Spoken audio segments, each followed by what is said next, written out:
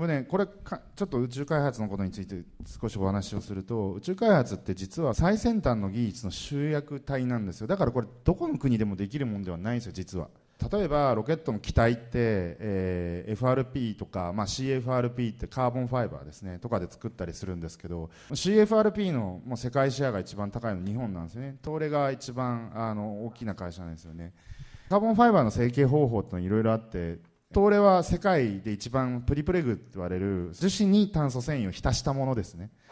でこいつをこう、まあ、紙細工みたいな感じで、えー、形に合わせてペタペタ、まあ、例えばえー、自動車用のシートだったらシートの形にこう成形をしてペタペタあの土台に貼っていってその後オートクレーブっていうので焼く、まあ、焼くといっても温度でいうと130度とか140度ぐらいの、まあ、油で揚げてるみたいな感じですね。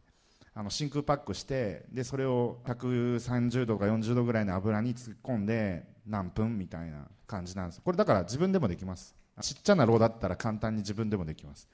今一番世界でプリプレグを入手しやすいのは日本なんで東レの代理店とかからこうプリプレグを買ってきて自分で好きな形にこう成形をして、えー、自家製のオートクレーブで焼くとかっていうことをやってる人もいますよね。例えばカーボンファイバーもそうだしアビオニクス系ですね。例えば加速度センサーとかジャイロとか、そういったものも日本が一番やっぱり手に入りやすいですよね。自動車用とかスマートフォン用とかっていうのに使われてるものを使えます。あの普通のロケットに乗っかってるのはリングレーザージャイロっていうやつでものすごい高い1台500万とかするようなやつを上長化しなきゃいけないんで3台とか5台とか積んだりとかしてるんでそれだけでもすごい重さだしすごい金がかかってる。でも僕らは例えばそういうのをメムスのジャイロっていう、まあ、普通にスマートフォンとかあの車とかで使われてるようなあの半導体ジャイロですね。に使ったりとかしてると。でセンサー系もそうだし、まあ、テレメートリー系の、まあ、電波を出したりとか、え、受信したりとかする機器もそうだしロケットエンジンの心臓部っていうのは NC 旋盤とかマシニングセンターとかそういうま金属加工をするための機材で作ったりとか、まあ、今最新のものだと 3D プリンターで成形したりとかしてると。アメリカのスペース X って会社金属用の 3D プリンター何台も持ってるらしい、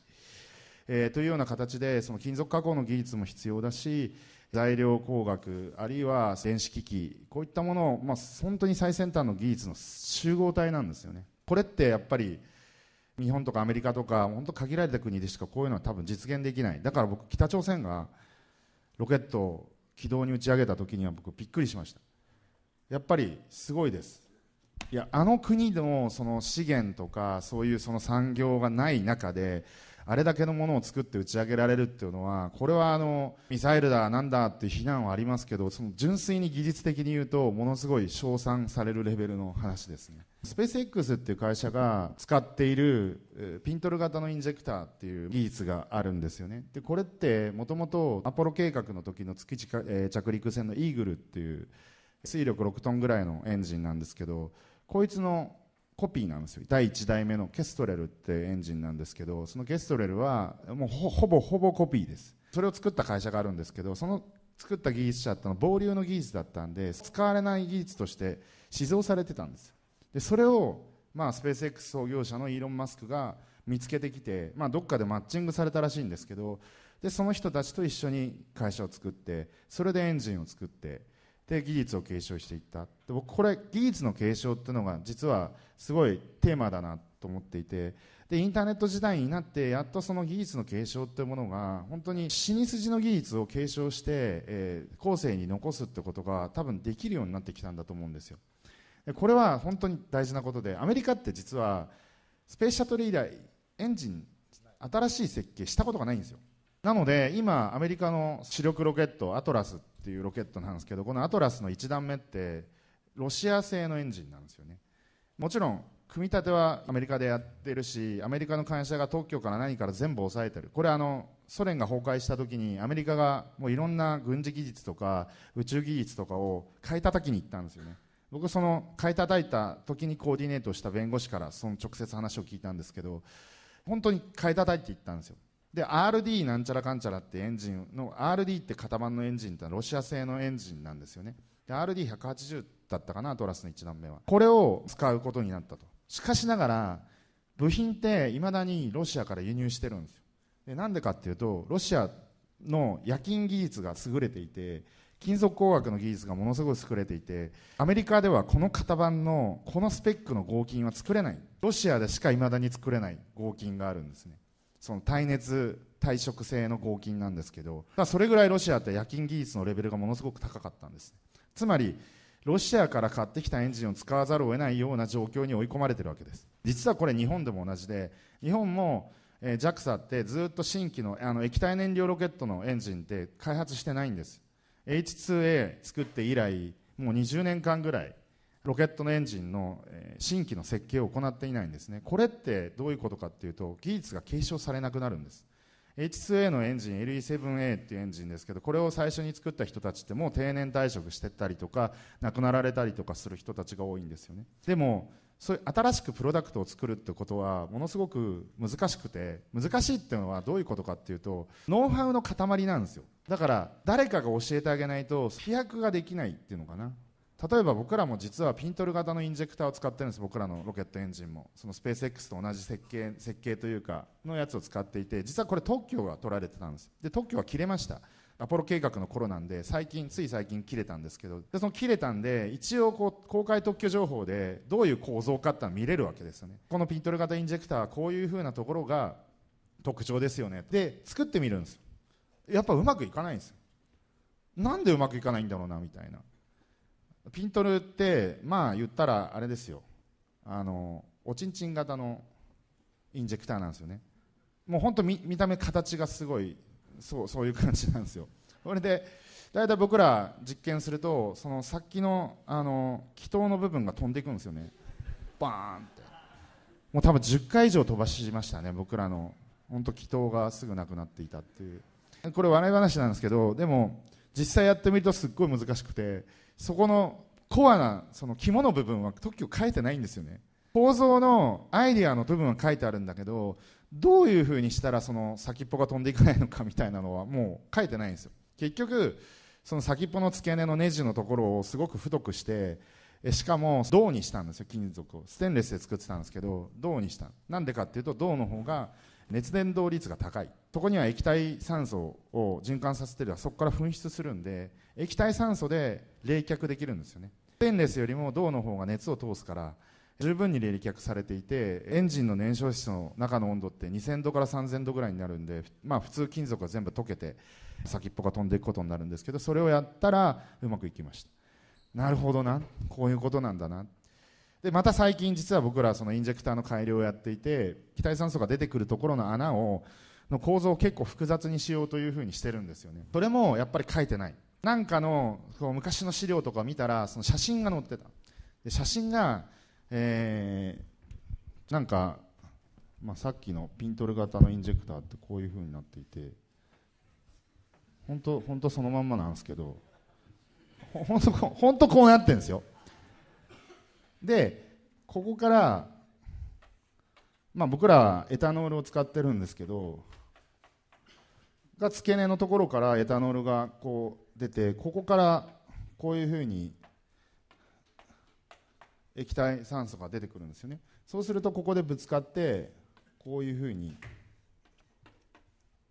燃料がまあ霧状になった燃料と酸化剤が混ぜたものがこう同心円状に、拡散していくと。でここで、まあ、点火をするとバーッと燃えると。ただここの構造をねこういうふうな単純なスリットじゃなくてスリットをね互い違いに入れてて、まあ、ここも結構隙間があったりとかしてこうやって噴射をさせてるんですよね。スペース X のあのインジェクターの写真を見ると。そうするとどうもあの燃焼効率が良くなるらしいんですよ。ということが最近分かってこういうふうな構造にしようかなって今度これを 3D プリンターで作ろうと思ってるんですけどこういうのが書いてないんですよね。公開特許情報には書いてないしこれ誰も教えてくれないですよ。最近特に宇宙関係はあの軍事転用ができるということで学会での発表とかもだんだん規制されていってて昔はもう学会論文とかも出まくってて多分北朝鮮の人たちそれ多分むさぼり読んだんだと思います 多分。日本のあの特許情報とかも本当特許情報っていうかそういう技術の肝になる部分がすごくダダ漏れになってました。インターネットでいつでも閲覧できるようになってたりとかしてこんなの出していいの？みたいな情報が、えー、最近はちょっと手に入らなくなりましたけどこういうのって結局誰かにその論文を見たりとかその実験結果のレポートを見たりとかそうやって解明していくものなんですよ。こういうものはいいんですよまだ。書いてあるし写真が残ってたりとかするから。だけど僕らが一番最初に苦労したのって何かっていうとこのびっくりするようなアホな話なんですけどロケットのエンジンの中にタンクが2つあるんですね。そのエタノールのタンクとロックスのタンクがあって、まあ、エタノールはまあ常温で液体ですから、まあ、普通のタンクでいいんですけどロックスの方はですね、え、マイナス183度でしたっけ？なんで、まあ、要は普通の圧力容器に入れると入れたそばからどんどん蒸発していきますよね。当然のことながら。200度とか300度のあ釜にそのタンクを入れて水を注ぎ込んでも入れたそばから蒸発していって、えー、全然入ってくれないんですよね。僕ら最初にその液体酸素をタンクに入れようとして多分3ヶ月ぐらい悩んでたかな。普通その液体酸素ってデュアっていう大きな魔法瓶に、えー、入って業者から送られてくるんですよね。そのデュアーから圧力容器に、まあ、要は圧力をかけてエンジンの燃焼室に圧送するんで圧力容器に入れなきゃいけないんですけどその圧力容器に入れる時にまず上をこ突っ込んで上から入れてたんだけどどんどん蒸発してきて全然入んないんですよね。空気がねその下1個しか出口がないから真ん中に穴付きの、ま、棒を入れて、えー、空気を逃がすようにしたらいいんじゃないかとかって言ってそれを次やってみたんだけどやっぱりそれでも入らない。どうしようどうしようって言って結局圧力をかけて、まあ、ちっちゃなポンプみたいなものを作って圧送することでやっと入るようになった。でもやっと一応入るようになったんだけどなかなか入ってくんないんですよそれでも。でああなるほどなと思って今度はタンクの周りを断熱材で覆ったんですね。それでやっともう何十分もかけてちっちゃな2リットルぐらいのタンクに液体酸素を充填することができるようになりました。アホみたいでしょ。そんなの最初から分かってんじゃんって何回も実験をやってる人たちからしたらこれはもう本当に当たり前のことなんだけどこれがやっぱり分かんないんですよね。それ大体ロケットエンジンを作ったことがある人に言うとはあなるほどねあはははって終わるんですけどだからみんな伝えないんですよそういうこと。伝承していかないわけ。当然分かってる。本当プリミティブなアホみたいな話だから。だけどよく考えてみてください。圧力容器に液体酸素を入れるシチュエーションって考えられないですよね。多分全ての産業の中で多分そんなことやるのは宇宙ロケットかリニアモーターカーぐらいって言われました。確かにそうだなと。リニアモーターカーもあの超電導磁石を使ってますから超電導状態を作り出すのに液体ヘリウムを使ってます。最近は高温超電導の素材工学がまあ要は材料工学がすごく発達してきたおかげで高温でも高温って言ってもマイナス180度とか170度とか昔はもうマイナス200何十度まで下げないと超電導状態にならなかったのがものすごい進歩なんだけどそれができるようになって今は実用化されたニアモーターカーでは、えー、気体窒素で走るようにするらしいです。そういうところでしか多分使わないんですよ。液体窒素とか液体酸素をえー、圧力容器に入れるっていうシチュエーションは多分ないんです。だからそういうものが伝承していかないんです。だけどこれから多分インターネットをこうやって普及していくとそういうノウハウまで含めて、まあ、ブログとかツイッターとかいろんなものがあるんで書きやすいしその、まあ、本当手軽に書けるからやりやすい。だからこそインターネットの時代にそういった技術継承っていうのがすごくまあ、進んでいくと思うしいろんなところにこう分散してるじゃないですか。僕ら最近ロケットのイベントとかをよく開くようになったのは実はそういう分散してる人たちをどんどん集めるためなんですよね。でそうすると人材のロングテールっていうのかな。ロケット好きな人ロケットどうしてもやりたい人ってある一定数はいると思うんですよ。だけど多分クラスに1人とか2人ぐらいしか多分いないと思うんですよ。いやそんなにそんなにもいないかもしれない。そういった人たちがやっぱりこれまでは集まれなかったんですよね。だけど今ソーシャルメディアがこれだけ流行ってきてソーシャルメディアが流行ったおかげでこの講義も多分ツイッターとかフェイスブックで知った人多分多いと思うんですよ。こうやってこうたくさんの人たちが集まれるようになった。それも、まあ、例えば2時間前にあ堀山の講義あるらしいぜ聞きに行こうぜで行けるような時代になってきたわけです。ただロケットのイベントだってあこんなイベントやってんだと思ってインターネットで知ってソーシャルメディアで知っていくと。行ったら面白いことしてる人たちがいるから俺も混ぜてくれってなってどんどんこう輪が広まっていく。これが多分ソーシャルメディアの時代の、まあ、一つのその技術の集積の、モデルというかこれまでは例えば自動車産業とかそういったところでしか集約が起こらなかったのがロケットとかそういった、まあ、どっちかっていうとニッチな分野でこれから技術の集積っていうのは起こってくるのかなっていうふうに思ってます。だからそれに僕はすごく期待したくて今そういうのがチャンスだからものを作って何かをやってほしいんですよね。もちろんウェブ上で面白いことやるのはいいんだけどそうじゃないところでもやってほしいんですよ。例えば地面から浮いて走る自動車ってよく SF とか近未来で出てくるじゃないですか。あれって多分ね技術的にもうできるんですよ。道路にリアモーターカと同じように埋め込んどけば多分同じようなことってできるし給電もできるんですよね。MR、まあ、マグネティックレゾナンスの技術を使えば給電もできる、まあ、充電をしてなんか回るバスみたいなのは韓国とかでこの間実用化されてましたけど、まあ、常に走ってる間ずっと充電できる。から電池も小さくて済むし充電ステーションもいらない。充電のために止まる必要もない。電気自動車のすごくネックってそこだって言われてましたけど少なくとも高速道路だけでも下に電気のコイルを埋め込んどけば充電もずっとできると。どころか浮いて走れると。でこう浮いて走るって実はすごいことで自動車って摩擦の力を使って走ってますよね。だけど摩擦って実はまだ完全に解明されてないんですよ。なんで摩擦が起きるのか。もう原子レベルの話なんでブレーキとかを作ってる会社に勤めてた人があ実はこれ話を元ネタあの元マイクロソフトの成毛さんなんですけど成毛さんもともとブレーキかなんかの会社に勤めてて、まあ、そこで摩擦のことすごい勉強したらしいんですけど例えば飛行機だって空飛ぶのは何でかなって大体分かってんだけどまあ、本当のところ分かんないから必ずその新しい飛行機を作るときは翼の形について風洞実験をやると。もう実験の結果に近似させて機体を作っていくしかないんですよ。完全に理論だけではあれできないんですよね。まあ、それは摩擦も同じと。で摩擦がない世界ってすごく良くてなんでかって摩擦がないからすごい小さい力で動くことができるんですよ。例えば自動車だってポンって押せばあと空気抵抗だけですから。自動車の要は CD 値、まあ、空気抵抗値なんて全然大したことないわけですよ。そんなに高速で移動しないからせいぜい100キロとか150キロぐらいしか出ない世界なんで飛行機とかに比べたらもう空気抵抗のことなんかあんまり考えなくていいぐらいのところで浮いて走ると燃費もめちゃくちゃ良くなるし地面にあの給電装置を、えー、入れとけばバッテリーも少なくて済むしすごい多分革命が起こるんですよ。自動車の世界もものすごい革命が起こる可能性があるんですよね。例えば浮いて走る車一つ取ってもこれだけの世の中を変える、えー、すごいチャンスがあるわけじゃないですか。そういう分野って他にも僕いっぱいあると思っていてなんでそういうのをこうみんなこぞってやらないのかなって思って僕こうイライラしてるんですよね。で僕はすごく自分でもやるって決めてるんで全部やろうと思ってるんですけどやっぱりこうライバルがいた方が燃えるし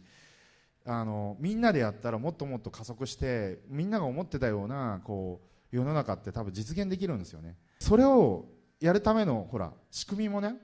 えー、整ってるじゃないですか。パソコン安いしネットなんかもうただみたいなもんだし、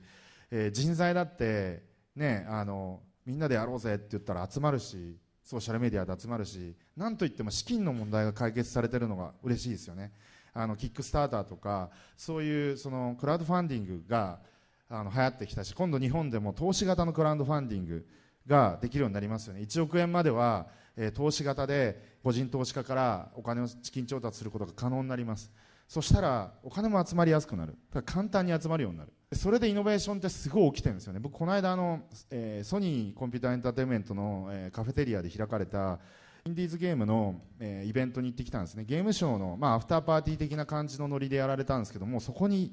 400人ぐらい全世界のゲーム開発者が集まってきていてでみんな1人とか2人でやってるんですよ。ゲーム作ってるんですよ。島根県で1人でゲーム作ってますみたいな人がものすごいゲーム作ってオキュラスリフトっていうあの没入型の 3D のヘッドマウントディスプレイみたいなのがあるんですよね。でそれをつけるとこうこうやって回って180度回っても、えー、視界がこうじあの自動的に動いてくれるこのオキュラスリフトももともとキックスターターかなんかで資金を集めて、えー、実際に実現した。これ多分ね6万円だか7万円ぐらいで買えるはずなんですよ。ねデベロッパーキットが。でそれを使って早速ゲームを作ってる人がいるわけです。でゲームの世界も今あの昔と違って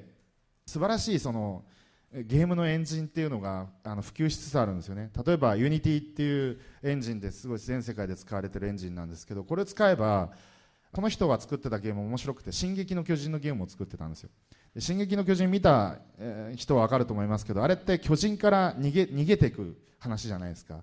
あの人間ちっちゃな人間が、えーなんかこう投げ縄みたいなのを使って、えー巨人から逃げていくゲームなんですけどそれをあのオキュラスリフトでユニティを使ってやってたんです。そしたらいやめっちゃ簡単ですよこれって。1週間で作りましたって言われたんですで彼がつ本当 C シャープでプログラミングした部分ってその縄を投げるところだけあとは巨人もその人のデータも街のデータも全部ポリゴンで売られてるんです。よ1個20ドルとかで買えるんですよ巨人も。それを組み合わせて世界を作って動きもモーションキャプチャーされたデータが売ってるんですよ。5ドルとか10ドルとかでその巨人のモーションキャプチャーされたこう巨人がこうやって動いていくデータとかも全部あるんでそれを買ってきて入れるだけなんですでそのな縄を投げるシーンだけ C シャープで書いてでそれで一丁上がりです。それで簡単に 3D ゲームができちゃう。もちろんそのブラッシュアップはしていかなきゃいけないと思うんですけどそういう時代になってる。僕が言いたかったのはそのオキュラスリフトみたいなものとか OUYA って最近ゲーム機ありますけど、えーそういったものはクラウドファンディングでもうアイデア次第でこういうの欲しかったよねみたいなものをこうみんなでやろうぜって言って集められる時代になってるってことがものすごく幸せなことだと思ってあのぜひ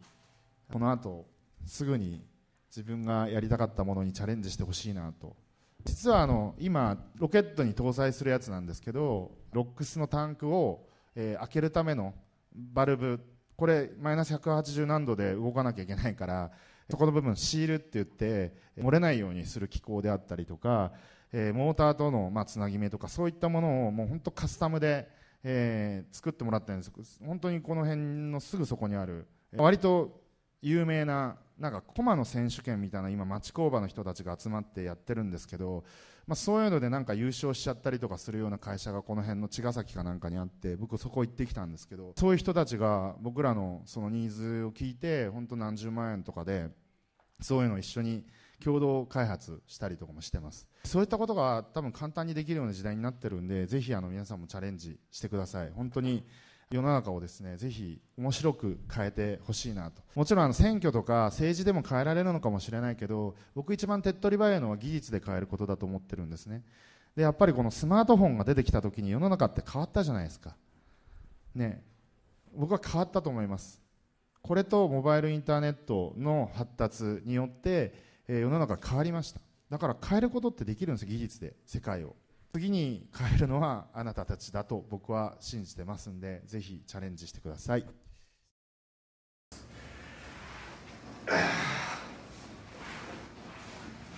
掛け声お願いします。よいしょ。はい。はい。二はい三四五六七八。反発はいラスト10えい。おお疲労の中でも。いってらっしゃい